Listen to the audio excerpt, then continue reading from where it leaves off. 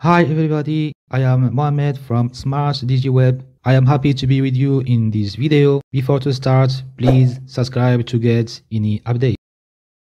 GetResponse. It is an interesting marketing solution that you can promote.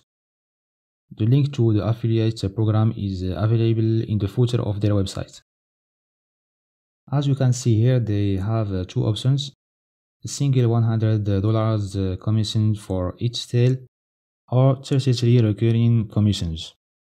All you need to do is uh, to complete the registration form, then confirm your email to activate your account. And there you are, you will have uh, your affiliate link and many other resources like banners, email ads, and so on.